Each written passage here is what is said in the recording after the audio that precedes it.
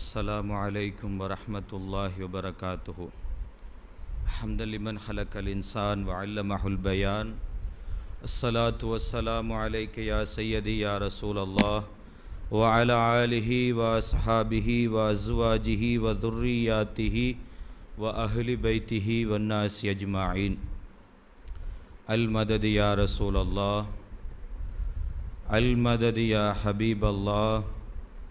المدد يا غوث الأعظم المدد يا إمامنا بخاري المدد يا عبد الجباد المدد يا شيخي மிஸ்பாஹி சர்வ புகழும் புகழ்ச்சியும் எம்மையெல்லாம் படைத்து பரிபோசனம் செய்யக்கூடிய ஏகவல்ல இறைவன் அல்லாஹக்கு சுபஹானஹு தாலாவுக்குண்டாகட்டுமாக என கேட்டுக்கொண்டதன் பின்னால்.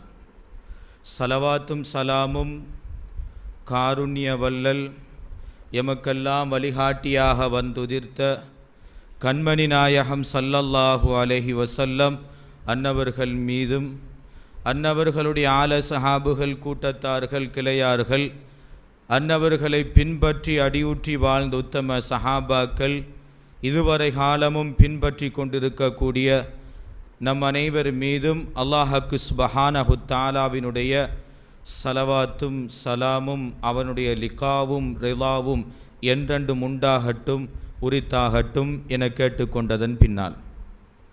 அன்பிற்குரிய இஸ்லாமிய சகோதரர்களே நல்லுள்ளம் படைத்தவர்களே இன்றைய நாள் இந்த புகாரி மஜிலிஸினுடைய ஏழாவது ஜுசோயில் ஓதப்பட்ட ஹதீஸுகளிலிருந்தும் ஓர் சில விளக்கங்களை உங்கள் மத்தியில் சொல்லி முடிக்கலாம் என்று ஆசைப்பட்டவனாக.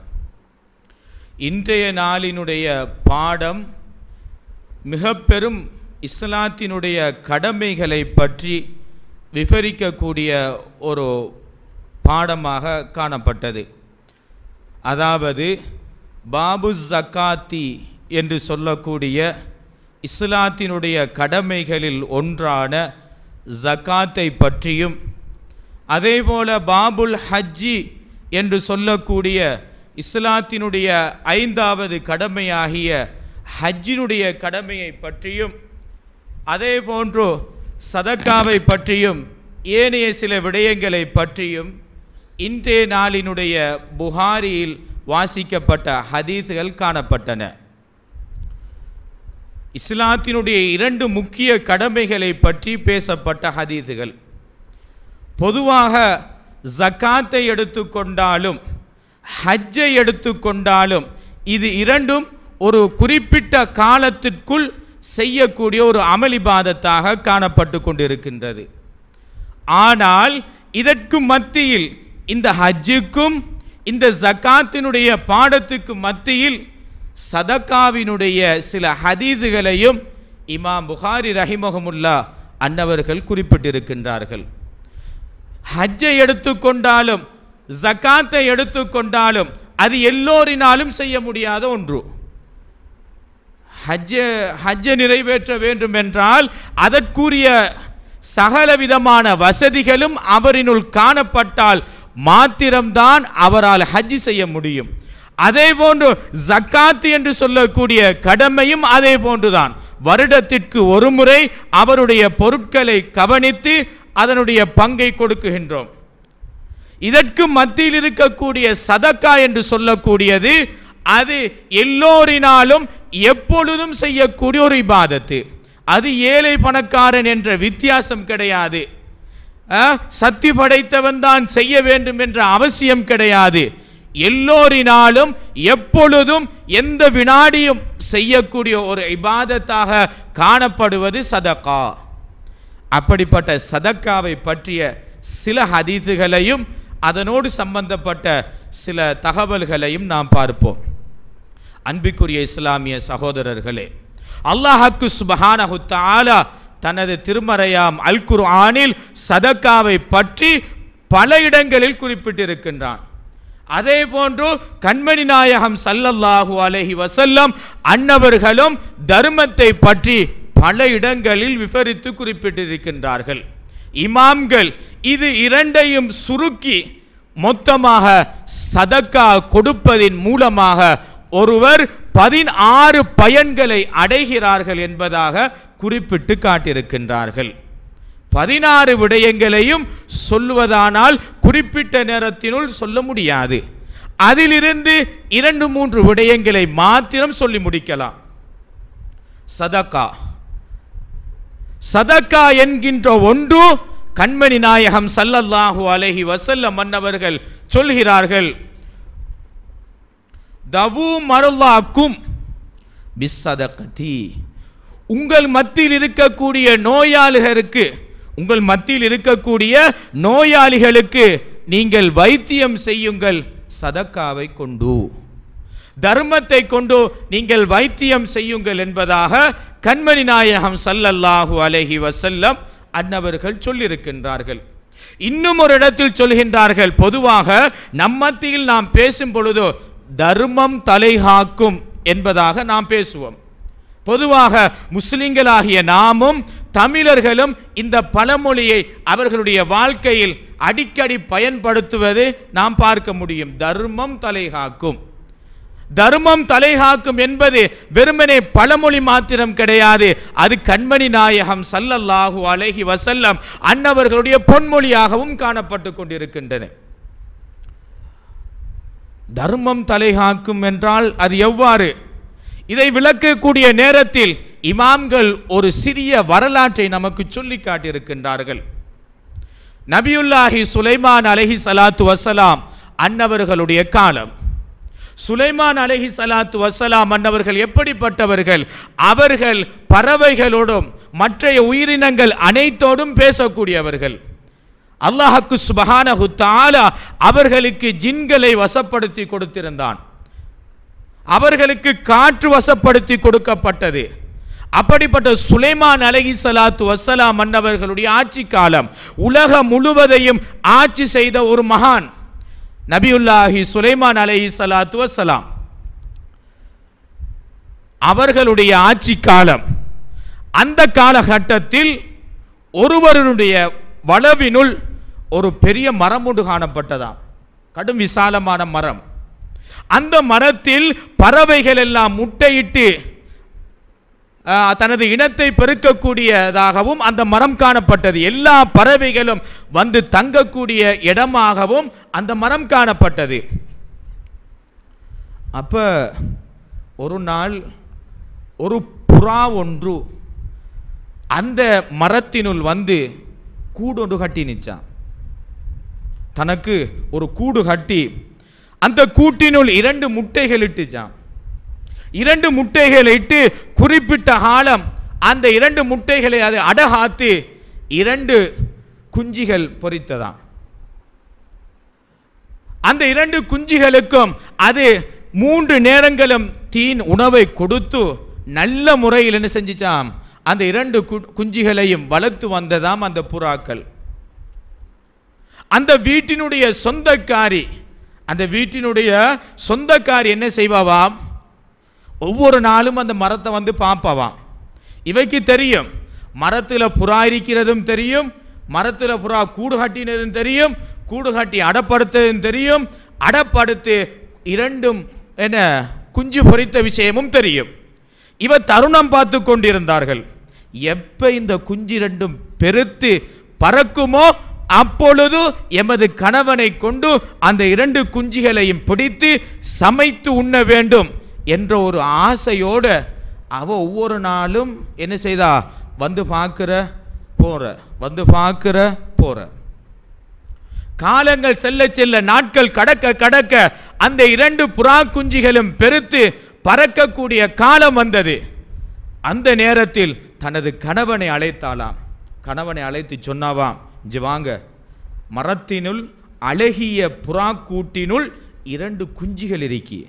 புறாக்குட்டி இருக்கி அந்த இரண்டு புறாக்களையும் நீங்கள் எடுக்க வேண்டும். அந்த ரெண்டு புறாவையும் பிடிச்செடுங்க. சமைத்து உண்ணுவோம் மருத்துவ குணமும் இருக்காம் என்பதாகவும் சொல்கிறார் இரண்டு புறாக்களை என்ன செய்வோம்? சமைத்து உண்போம். பிடிச்செடுங்க. ரிசல்ட்டாவா அவரும் ஏழ்ந்தளவு தடுத்து பார்த்தாரு. அவ உற மாதிரி இல்லை. இப்போ சுலைமான் அலை சலாத்து வசலாம் மரத் அந்த சுலைமன் அலை அந்த காலத்தில் வாழ்ந்த அந்த மனிதர் அந்த மரத்தினுள் ஏறி என்ன செஞ்சாரா? இரண்டு புறா குட்டிகளையும் குஞ்சிகளையும் எடுத்து சமைத்து இருவரும் உண்டார்களாம். அந்த இரண்டு தாய் புறாக்களுக்கும் சரியான கவலை. ஆசை ஆசையாக பொறித்து பறவகாட்ட இருந்த இரண்டு குட்டிகளை எடுத்தால் எந்த அளவுக்கு பதறி தெரியும்? ரெண்டுக்கும் சரியான கவலையா சரி நம்ம என்ன செய்வோம்? மீண்டும் இந்த கூட்டினுள் முட்டையிட்டு மாறி என்ன செய்வோம்? நம்மட இனத்தை பெருக்கக்கூடிய வழிமுறையை பார்ப்போம் அப்படி சொல்லி இரண்டு புறாக்களும் சிறிது காலம் சென்றதன் பிறகு மீண்டும் அந்த கூட்டினுள் இரண்டு முட்டைகள் இட்டதாம். அந்த பொம்புல என்ன செஞ்சாவாம்? மாரியும் வந்து பார்த்தாவாம். வந்து பார்த்தா புறா என்ன செய்யுது மீண்டும் ரெண்டு முட்டை இட்டிருக்கி. தருணம் பார்க்க ஆரம்பிச்சா. எப்போ புறா அடப்படுக்கும் எப்பொழுது குஞ்சிகள் பொரிக்கும் எப்பொழுது நாம் அதனை எடுக்கலாம் எப்பொழுது எடுத்து தின்னலாம் சாப்பிடலாம் என்ற தருணம் பார்த்து கொண்டே இருந்தால் காலங்கள் சென்றன. இரண்டு புறாக்களுடைய முட்டையிலிருந்தும் குஞ்சிகள் வெளிப்பட்டன. சில நாட்களுக்கு பிறகு இரண்டும் அழகிய தோற்றத்தில் பெருத்தது. மீண்டும் கணவனை அழைத்தாள். அழைத்து சொன்னால் அங்கே பாருங்க போன முறை நம்ம எடுத்து சாப்பிட்டோமே அது ரெண்டு இன்னும் ரெண்டு கு- குட்டி இறுக்கி கூட்டுக்குள்ள. என்ன செய்யுங்க? மீண்டும் அதை இரண்டையும் எடுங்கள். சமைத்து உண்போம். போன முறை பார்த்தீர்கள் தான் ருசிய. இந்த முறையும் அதைவிட ருசியாக நான் சமைத்து தருகிறேன். மரத்திலிருந்து அந்த இரண்டு குட்டிகளையும் எடுத்துக்கொள்ளுங்கள் என்று சொன்னாங்களாம். அவரும் ஏழுன்ற அளவு தன்னால் முடியுமான அளவு அவகிட்ட சொல்லி பார்த்தாங்க. வேணாம் பாவம். அவ கேட்குற மாதிரி இல்லை. இவர் என்ன செஞ்சார்? இவளோட தொல்லை தாங்க முடியலை என்ற நிலைக்கு போய் இரண்டு புறா குஞ்சிகளையும் எடுத்து சமைத்து உண்டார்களாம். தாய்ப்புறா இரண்டிற்கும் கவலை தாங்க முடியவில்லை. ஒரு தரம்டா பிரச்சனை இல்லை. இரண்டு தடவைகளிலும் இந்த சோதனை. உடனே இந்த சோதனைக்கு நாம் ஒரு முடிவு காட்ட வேண்டும். சுலைமான் அலை சலாத்து வசலாமாங்கிட்ட நம்ம ரெண்டு பேரும் போவோம் வாங்க. என்று இரண்டு தாய் புறாக்களும் தாயும் தந்தையும் அந்த இரண்டு புறாக்களும் நபியுல்லாஹி சுலைமான் அலைஹி ஸலாத்து வஸ்ஸலாம் அன்னவர்களிடத்தில் சென்று நடந்த செய்திகள் அனைத்தையும் சொன்னிச்சாம். இப்போ இப்படி நாங்கள் புறா கூடுகள் கட்டி முட்டை முட்டைகள் இட்டு இரண்டு முறை அடக்காத்தோம். ஆனால் இரண்டு முறைகளும் இரண்டு முறைகளிலும் பொரித்த குஞ்சுகளை அவங்க என்ன செஞ்சிட்டாங்க? எடுத்து சாப்பிட்டாங்க. எனது குஞ்சுகளை நான் உருவாக்குவது எனது இனத்தை நான் பெருக்குவது வெறுமனே எனது இனத்தை பெருக்க வேண்டும் என்ற எண்ணம் கிடையாது. நான் மரணித்ததன் பிறகு எனது வம்சாவளியினர்கள் அல்லாஹுவை திக்ரு செய்யணும். அந்த ஒரு காரணத்திற்காக வேண்டித்தான் நான் என்ன செய்கிறேன் என்ற இனத்தை பெருக்கக்கூடிய வழிமுறையை நாங்கள் பார்க்கின்றோம். ஆனால் அவர்கள் அதை விடுறாங்கல்ல. ஒவ்வொரு சரமும் என்ன செய்கிறாங்க வந்து வந்து வந்து வந்து அதை எடுத்துட்டே போகிறாங்க இதுக்கு ஒரு ஏதாச்சும் ஒரு வழியை காட்டித்தாங்க. நபியுல்லாஹி சுலைமான் அலை சலாத்து வசலாம் அன்னவர்களிடத்தில் இரண்டும் வந்து முறையிட்டது. சுலைமான் அலை சலாத்து வசலாம் அன்னவர்கள் அந்த இரண்டு புறாக்களுக்கும் சொன்னார்களாம் நீங்கள் இப்பொழுது செல்லுங்கள். உங்களுக்கு பாதுகாப்பாக நான் இரண்டு ஜின்களை அனுப்புகிறேன். உங்களுக்கு பாதுகாப்பாக இப்போ ரெண்டு ஜின் வரும். அந்த இரண்டு ஜின்களும் நீங்கள் முட்டை இட்டதிலிருந்து உங்களுடைய இரண்டு குஞ்சுகளும் பறவை காட்டுகின்ற நேரம் வரைக்கும் உங்களுக்கு பாதுகாப்பாக அது இருக்கும் என்பதாக சொல்லி நபியுல்லாஹி சுலைமான் அலை சலாத்து வசலாம் அனுப்பி வைத்தார்களாம் அப்ப அனுப்பி வைக்கின்ற பொழுது அந்த ஜின்னினுடைய கையில் இரண்டு வாளுகளையும் கொடுத்து தான் அனுப்பி வைத்தாங்க. அவர் வந்து எடுத்தா நீங்க அவரை வெட்டுங்க. அந்த ஜின்னுக்கிட்ட சொல்லியும் அனுப்பியாச்சு.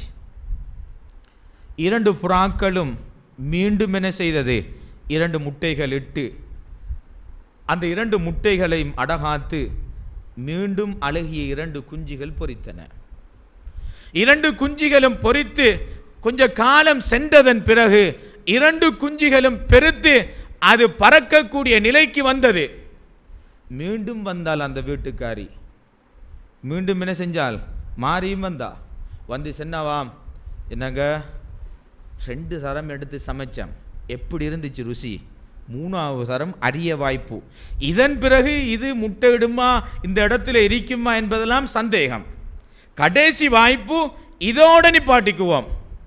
இதோட நெஞ்சிக்குவோம். நிப்பாட்டிக்குவோம். இதன் பிறகு நம்ம எடுக்க போறா எடுக்க மாட்டோம்.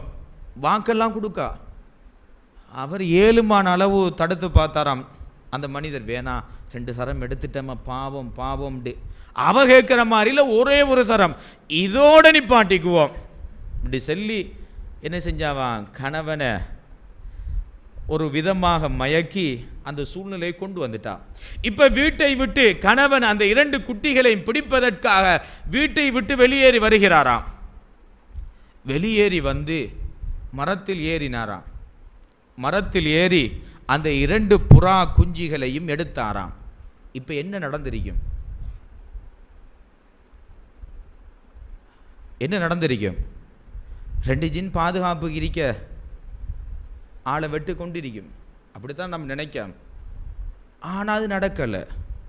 அவர் மரத்தின் மீது ஏறி இரண்டு புறா குஞ்சிகளை எடுத்து சமைத்து உண்டு விட்டார்கள்.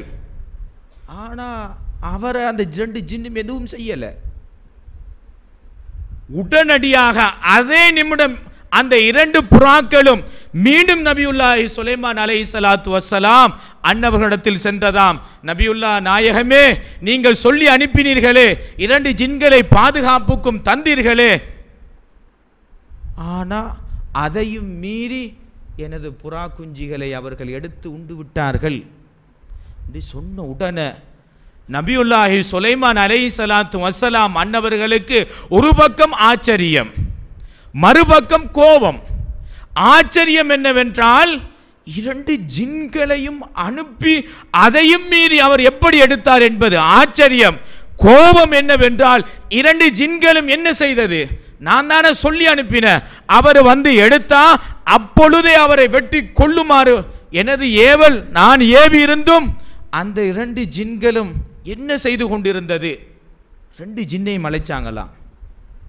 அழைச்சி கேட்டாங்களா நான் உனவங்கிட்ட என்ன சொல்லி அனுப்பினேன் நாயகமே நீங்கள் இப்படி இப்படிலாம் சொன்னீங்க. நாங்களும் என்ன செய்தோம்?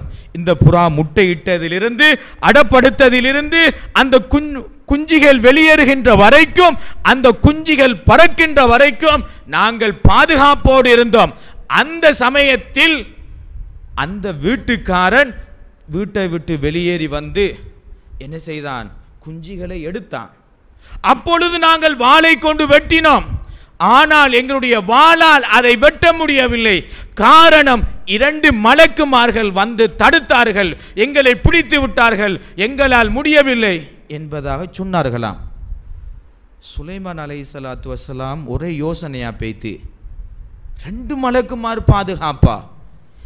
ரெண்டு மலக்குமாறு இவர் செய்ய விஷயம் பாவம். அநியாயம். அநியாயமான இரண்டு விடயங்களுக்கு பாதுகாப்பு. எப்படி? என்ன நடந்துச்சு? முழுமையாக செல்லுங்க அந்த ஜின்னை பார்த்து கேட்டாங்களாம். அப்போ அந்த ரெண்டு ஜின்களும் சொன்னிச்சாம் அந்த மனிதர் வீட்டை விட்டு வெளியேறி வந்தார். அவர் வெளியேறி வருகின்ற பொழுது அவருடைய கையில் ஒரு ரொட்டி துண்டு இருந்ததாம். அந்த ரொட்டி துண்டை எடுத்துக்கொண்டு அவர் வெளியேறி வருகின்ற பொழுது ஒரு யாசகன் ஒரு பசித்த ஒருவன் அவரிடத்தில் வந்து கேட்டாராம் பசிக்குது ஏதாச்சும் தாங்க என்று கேட்டாங்க. அப்பொழுது அந்த மனிதர் தன்னிடத்தில் இருந்த உணவை கொடுத்தார். கொடுத்து விட்டு ஏறினார். ஏறி எடுத்தார். எங்களால் ஒன்றும் செய்ய முடியவில்லை என்பதாக செய்தியை சொல்லி முடித்ததான் அப்போ இதிலிருந்து என்ன விளங்குது? தர்மம் தலை காக்கும் என்பது உண்மை. தர்மம் என்ன செஞ்சுச்சு? தலை காத்தது. அந்த மனிதனுடைய தலையை காத்தது. ஜின்களுடைய தீங்கிலிருந்தும் காத்தது என்பதை இந்த சம்பவத்தின் மூலம் நமக்கு புரிகின்றது. அதே போல இந்த சதக்கா கொடுப்பதின் மூலமாக உள்ளங்கள் என்ன செய்யுமாம்? இரக்கத்தன்மை உள்ளதாக மாறுமாம். ஒரு முறை ஒரு மனிதர் வந்து நபியுல்லாஹி சல்லல்லாஹு அலஹி வசல்லம் அன்னவர்களிடத்தில் முறையிட்டார்களாம் யார சூழல்லா எனக்கு எனக்கு இரக்கத்தன்மை என்ற ஒன்று இல்லாமல் காணப்படுகிறது.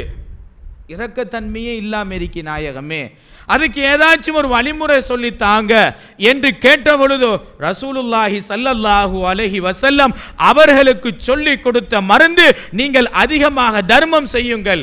அந்த தர்மம் உங்களுடைய உள்ளத்தை மிருதுவான உள்ளமாக மாற்றி தரும் என்பதாக கண்மணி நாயகம் சல்லல்லாஹு அலஹி வசல்லம் மன்னவர்கள் சொல்லி கொடுத்தார்கள். அது மாத்திரமா? தர்மம் கொடுப்பதன் மூலமாக ஒருவருடைய நோய் குணம் அடைகிறது அவருக்கு வரக்கூடிய ஆபத்துக்கள் அனைத்தும் அவரை விட்டும் நீங்குகிறது. ஒரு முறை அலி அலி அல்லாஹு தாலானு அவங்க வீட்டினுள் வருகின்றார்கள். அப்பொழுது ஃபாத்திமார் அலி அல்லாஹு தாலான்ஹா அவர்களுக்கு காய்ச்சல். சரியான காய்ச்சல் ஃபாத்திமா நாயகிக்கு. அப்போ அலி அலி அல்லாஹு தாலானு அவங்க வந்து பக்கத்தில் வந்து கேட்டாங்களாம் ஃபாத்திமா நாயகிய உங்களோட மனசு ஏதாச்சும் இப்போக்கு ஆசைப்படுதா? ஏதாச்சும் சாப்பிடணும்ட்டு உங்களோட மனசில் தோணுதா? அப்படி தோணக்கூடியதை சொல்லுங்களே நான் அதை உங்களுக்கு எடுத்து வந்து தாரன் என்பதாக அலி அலி அல்லாஹு தாலானுகு தனது மனைவி ஃபாத்திமார் அலி அல்லாஹு தாலானுகு அவங்களிடத்தில் கேட்டாங்களாம். அதுக்கு ஃபாத்திமார் அலி அல்லாஹு தாலானுகு அவங்க சொன்னார்களாம் எனக்கு இப்பொழுது ஒரு மாதுளம் பழம் தின்னணும் என்று ஆசையாக இருக்கி. அப்படி சென்னுடன் அலிர் அலி அல்லாஹு தாலானு அவங்க கொஞ்ச நேரம் யோசித்தாங்களாம் ஏன் யோசிச்சாங்கன்ட்டு அவங்க இடத்துல ஒரு ரூபா கூட இல்லை அந்த டைமில். என்னல? ஒரு ரூபாயும் இல்லை. சரி ஃபாத்திமா நாயகி கேட்டுட்டாங்கல்ல கேட்டதை கொடுக்கணுமே என்ற ஒரு எண்ணத்தோட தனக்கு தெரிந்த ஒருவரிடத்தில் சென்றார்களாம். சென்று கேட்டாங்களாம் எனக்கு கொஞ்சம் திருகங்களை கடனை தாங்க. இன்ஷா கூடிய சீக்கிரத்தில் நான் அதை தந்துடுவேன் என்பதாக கேட்டு சில திருகங்களை பெற்றுக்கொண்டார்களாம் சில திருகங்களை பெற்றுக்கொண்ட அலிர் அலி அல்லாஹு தாலானு அவர்கள் அழகிய ஒரு மாதுளம் பழத்தை வாங்கி கொண்டு தனது மனைவியினுடைய ஆசையை நிறைவேற்றுவதற்காக வேண்டி வீட்டை நோக்கி வந்து கொண்டிருந்தார்களாம். வீட்டை நோக்கி இணைஞ்சிட்டாங்களா? வந்துட்டு இருந்தாங்களா? அந்த நேரத்தில் பாதையினுடைய ஒரு பக்க சைட்டில் ஒரு பக்கத்தில் ஒரு நோயாளி ஒருவர் சுருண்ட நிலையில் அணுங்கிக் கொண்டும் அவரால் எலும்ப இயலாமலும் அப்படியே சுருங்கி படுத்து கொண்டிருந்தாராம். அலி அலி அல்லாஹு தாலானு அவங்க பக்கத்தில் போய் கேட்டாங்களா என்ன? கடும் நோயாளி போல் விளங்குகிறத? ஏதும் மருந்து ஏதாச்சும் எடுத்தீங்களா? சாப்பிட்டீங்களா? ஏதாச்சும் தேவைப்படுதா? என்பதாக அலிர் அலி அல்லாஹு தாலானு அவங்கள பார்த்து கேட்டாங்களாம். அதுக்கு அவங்க சொன்னாங்களாம் நாயகமே இண்டையோடு ஐந்து நாளாகிட்டு நான் சா சாப்பிட்டு ஐந்து நாளாக இந்த இடத்தில் கிடந்த கடையில் நான் கிடக்கின்றேன். கடும் பசி அறிக்கி எனக்கு மாதுளம் பழம் ஒன்று சாப்பிடணும் என்ற ஒரு ஆசையாக இருக்கி முடியுமாக இருந்தால் ஒரு மாதுளம்பழம் எடுத்து தாருங்கள் என்பதாக அலிர் அலி அல்லாஹு தாலா அவனிடத்தில் அவர் கேட்டாங்களாம். அலிர் அலி அல்லாஹு தாலானு அவங்களுக்கு யோசனை. என்ன யோசனை? ஃபாத்திமார் அலி அல்லாஹு தாலானு ஆசைப்பட்டு மாதுளம் பழத்தை கேட்டிருக்காங்க. குருவாலயம் வருது அம்ம சாயில ஃபலா தன்ஹர். கேட்டவரை விரட்டாதீர்கள். யாராச்சும் கேட்டா கொடுங்க என்பதாக குருவானிலையும் வந்திருக்கி. நாயகம் ஸல்லல்லாஹு அலை வசல்லம் மன்னவர்கள் சொல்கிறார்கள் ஒருவர் குதிரையில் வந்து உங்களிடத்தில் ஏதேனும் கேட்டால் அவருக்கு மறுக்க வேண்டாம். ஏதாச்சும் கொடுத்து உதவி செய்யுங்கன்று நாயகமும் சொல்லியிருக்காங்க. இப்படியான ஒரு சூழ்நிலை. அங்கே ஃபாத்திமா நாயகி மாதுளம்பழத்துக்கு ஆசைப்பட்டு இருக்கின்றார்கள். இவரும் கேட்கின்றார் குர்வானிலும் இவ்வாறு உள்ளது ஹதீஸிலும் இவ்வாறு உள்ளது என்ன செய்வது? என்ற ஒரு எண்ணம் அலிர் அலி அல்லாஹு தாலாவுடைய அப்படி மனசில் ஊசலாட்ட ஆரம்பிச்சிச்சான் உடனே ஒரு முடிவெடுத்தாங்க. என்ன செய்தாங்கள்? அவர்களுடைய மாதுளம் பழத்தை உடைத்து அந்த வயோதிபருக்கு அந்த நோய்வாய்ப்பட்டு காணப்பட்டவருக்கு என்ன செஞ்சாங்களாம்? உடைச்சி கொடுத்துட்டாங்களாம். நீங்கள் சாப்பிடுங்க. மிச்சத்தை பார்த்துக்குவோம். அவரும் என்ன செஞ்சாலாம்? உடனே அதை டக்குன்னு சாப்பிட்டார்களாம் அலின் அலியர் அலிர் அலி அல்லாஹு தாலாவுடைய பறக்கத்தின் மூலமாக உடனே அவருடைய நோய் குணம் அடைந்தது. அந்த நோய் குணம் அடைந்ததனுடைய ரகசியம் என்னண்டா? இப்போ யாராச்சும் நோய்வாய்ப்பட்டிருந்தா வீட்டில் சிறுவர்கள் நோய்வாய்ப்பட்டிருந்தா நம்ம கேட்போம் ஏதாச்சும் வேணும்டா செல்லுங்க ஆசைப்படுறத கேளுங்க. ஏன் காரணம்டா அவர் ஆசைப்படுகிறதை கொடுக்கின்ற பொழுது அவருடைய உடல் இந்த நோய் என்ன செய்து அவரை விட்டும் அது நீங்கி போகின்றது. நோய் என்பது என்னண்டா? நோய்ன்ற என்னண்டா நாம் எப்பொழுது நோய் நோய் நோய்ன்று எண்ணுகிறோமோ அது வரைக்கும் தான் நோய். நம்ம எப்பொழுதும் எனக்கு எந்த நோயும் இல்லை என்ற ஒரு எண்ணம் வருதோ அப்போ நோய் இல்லை. அப்போ அந்த அந்த நோயாளி அவர் சாப்பிடுகின்ற பொழுது அவருடைய முழு சிந்தனையும் முழு எண்ணமும் அவருடைய சாப்பாட்டினுடைய கரிசனையில் மாத்திரம் இருப்பதனால் நோய் மறந்து போகிறது. நோய் மறந்ததன் காரணமாக அந்த நோய் தன்னை விட்டு நீங்கியும் விட்டது. அப்போ அந்த நோயாளி மாதுளம் பழத்தை திண்ட உடனடியில் அந்த நிமிடமே சுகம் அடைகிறார் இவர் சுகம் அடைந்த அதே நிமிடம் அங்க ஃபாத்திமார் அலி அல்லாஹு தாலானு அவர்களும் சுகம் அடைகின்றார்கள் ரெண்டு பேருக்கும் சுகம் அடைஞ்சாச்சு இப்ப அலி அலி அல்லாஹு தாலானு அவர்கள் தயங்கிய நிலையில் வெட்கப்பட்டவர்களாக ஃபாத்திமார் அலி அல்லாஹு தாலா அன்ஹா அவர்களுடைய வீட்டை நோக்கி செல்கின்றார்களாம். மனைவி கேட்டால் என்ன சொல்வது? ஆசைப்பட்டு கேட்ட ஒரு சாமான கொடுக்க முடியாமலுடைய தயக்கம் அலி அலி அல்லாஹு தாலா அனு அவர்களுடைய உள்ளத்தை வராண்டியது. அவரால் முடியவில்லை. அப்படியே ஏதோ ஒரு யோசனையில் போகிறாங்க அலி அலி அல்லாஹு தாலானு போய் கதவை தட்டினார்களாம். கதவை தட்டிய உடனே ஃபாத்திமா அலி அல்லாஹு தாலானு அவர்கள் விரைந்து வந்து கதவை திறந்து தனது கணவரை கட்டி அணைத்து கொண்டார்களாம். கட்டி அணைத்து கொண்டு ஃபாத்திமார் அலி அல்லாஹு தாலானு அவர்கள் சொன்னார்களாம்.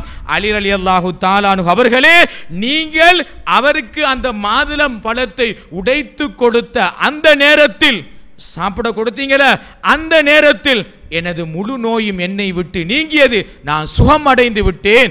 அல்ஹம்துலில்லா என்பதாக ஃபாத்திமர் அலி அல்லாஹு தாலானு அவர்கள் சொன்னார்களாம்.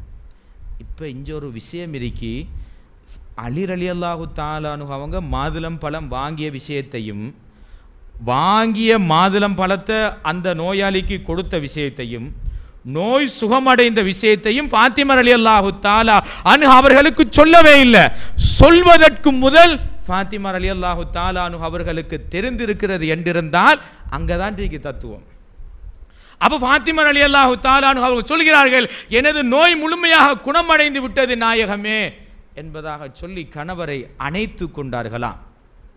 அந்த நேரத்தில் கதவை தட்டுகிற சத்தம் கேட்குது கதவை தட்டுற சத்தம் கேட்டதாம். அப்போ அந்த நேரத்தில் அலில் அலி அல்லாஹு தாலானு அவர்கள் கேட்டார்களாம் யாரு? அப்போ வெளியிலிருந்து ஒருவர் சொன்னாராம் நான் தான் சல்மானுல் ஃபாரிசியூ. சல்மான் வந்திருக்கேன். சல்மான் அலி அல்லாஹு தாலானு அப்படியா? சரி கொஞ்சம் இருங்க இந்த வாரம்னு சொல்லி அலி அலி அல்லாஹு தாலானு அவர்கள் கதவை திறந்தார்களாம். கதவை என்ன செஞ்சாங்க? அலி அலி அல்லாஹு தாலானுகு திறந்தார்களாம். திறந்த நேரத்தில் சல்மான் அலி அல்லாஹு தாலானு அவர்கள் கையில் ஒரு கூடையை வைத்திருந்தார்களாம். அந்த கூடையை மேலால் ஒரு போர்வை ஒன்று போத்தி மூடி வச்சிருந்தாங்க. மூடி பிடித்து கொண்டு இருந்தாங்களாம் அலி அலி அல்லாஹு கேட்டாங்களாம் என்னது? எங்கிருந்து வந்தது? என்று கேட்டாங்க. சல்மான் ஃபாரிஸ் அலி அல்லாஹு தாலான்னு சொன்னார்களாம் இது கண்மணி நாயகம் சல்லல்லாஹு அலைஹி வசல்லம் அன்னவர்கள் உங்களிடத்தில் கொடுக்குமாறு தந்த கூடை. அப்படியா? அப்போ அலி அலி அல்லாஹு தாலானு அவங்க அந்த கூடையை திறந்து பார்த்தார்களாம். உள்ளுக்குள்ளே ஒன்பது மாதுளம்பழங்கள் இருந்துச்சாம். ஒன்பது மாதுளம்பழங்கள். அப்போ ஒன்பது ஒன்பது மாதுளம்பழத்தையும் பார்த்து அலில் அலி அல்லாஹூ தாலானு அவங்க சிரிச்சிட்டு கேட்டாங்களாம். சல்மான் ஃபாரிஸ் அலி அல்லாஹு தாலான் பார்த்து அல்லாஹு தாலா குருவானில் செல்கிறான் ஒன்று செஞ்சால் பத்து தருவதாக. அப்போ நான் செஞ்ச நல்ல காரியத்துக்கு பத்து வந்திருக்கணும். ஒன்பது இருக்கி இன்னொன்று எங்கே? என்று சிரித்த மாதிரி கேட்டாங்களாம். அதுக்கு சல்மான் ஃபாரிஸ் அலி தாலானு அவங்களும் சிரிச்சிட்டு சொன்னாங்களாம் நாயகமே அது நான் தான் எடுத்தேன். பசியாக இருந்துச்சு. ஒன்பது இருக்கித்தானே ஒன்று எடுத்துக்கொண்டு ஒன்று எடுத்தேன்.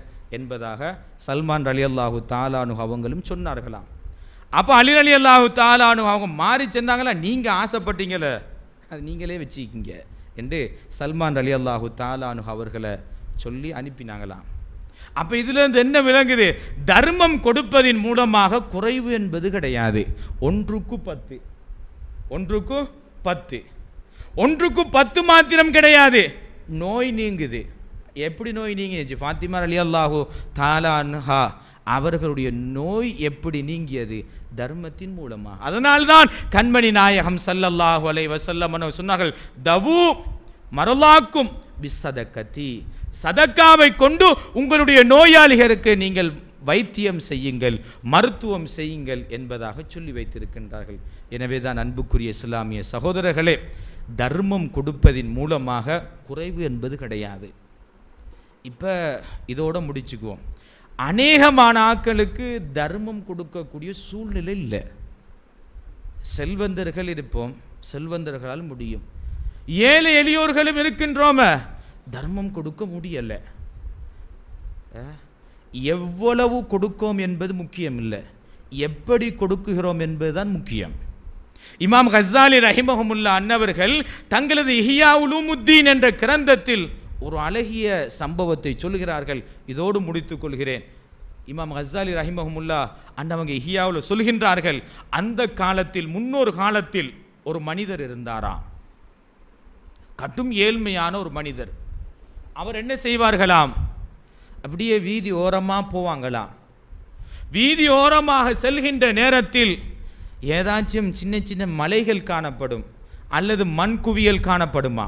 அந்த மண் குவியல்களை கண்ட பொழுது அவர்கள் எண்ணிக்கொள்வார்களாம் இந்த மண் குவியல் முழுவதும் உணவாக பொருளாக பணமாக இருந்தால் இல்லாத ஏழைகளுக்கு நான் தர்மம் செய்வேனே வாரி வழங்குவேனே. என்பதாக அந்த மனிதர் எண்ணி அப்படி ஒரு எண்ணத்தில் யோசனையில் போவாராம். அவர் வளமே தான் எதையாச்சும் பார்த்தா இது தங்கமாக இருந்தால் ஏழைகளுக்கு கொடுப்பேன். இது உணவாக இருந்தால் அனாதைகளுக்கு கொடுப்பேன். இல்லாதவங்கட பசி ஆத்துவன் என்று எண்ணியவராகவே போவாங்களாம். ஒரு சரம் அந்த காலத்தில் இருந்த நபிக்கு அல்லாஹு தாலா வகி அறிவித்தானாம். அந்த மனிதரை அழைத்து நீங்கள் சொல்லுங்கள். எந்த மனிதர் எல்லாத்தையும் பார்த்துட்டு தர்மம் கொடுக்கணும் கொடுக்கணும்னு மனதளவில் எண்ணி எண்ணி போகிறாரே அவரை பார்த்து சொல்லுங்கள் நீங்கள் எதை மனதால் கொடுக்க வேண்டும் என்று எண்ணினீங்களோ அதை நிஜத்தில் கொடுத்த கூலி உங்களுக்கு கிடைத்து விட்டது பன்மடங்காக என்பதாக அல்லாஹாக்கு சுபஹானஹு தாலா அந்த நபிக்கு வகி அறிவித்து சொல்லுமாறு சொல்லியிருக்கிறான் என்றிருந்தால் அதை எவ்வளோதான் கொடுக்கணும் இல்லை அறவு கொஞ்சம் கொடுத்தாலும் அந்த கொஞ்சத்தின் மூலம் இறைவனுடைய திருப்தியை எதிர்பார்த்து கொடுக்கின்ற பொழுது அல்லது எதுவும் கொடுக்காத கொடுக்க முடியாத சூழ்நிலையில் கொடுக்க வேண்டும் என்கின்ற எண்ணத்தை ஏற்படுத்தி கொள்ளக்கூடிய நல்ல எண்ணம் எப்பொழுதும் நம் மனதில் இருக்க வேண்டும். அந்த எண்ணம் இருக்கின்ற பொழுது உள்ளம் அமைதியாகும். அந்த எண்ணம் இருக்கின்ற பொழுது உள்ளத்தில் பாசம் அதிகரிக்கும். உடம்பை விட்டும் நோய் அகன்றுவிடும். அப்படிப்பட்ட நல்லுள்ளத்தை எல்லாம் வல்ல அல்லாஹக்கு சுபஹானஹு தாலா நம் அனைவருக்கு தந்த அது புரிவானாக வாஹிர் தாவான் அல்ஹம்துலில்லாஹி ரப்பில் ஆலமீன். அஸ்ஸலாமு அலைக்கும் வரஹமத்துல்லாஹி வபரகாத்து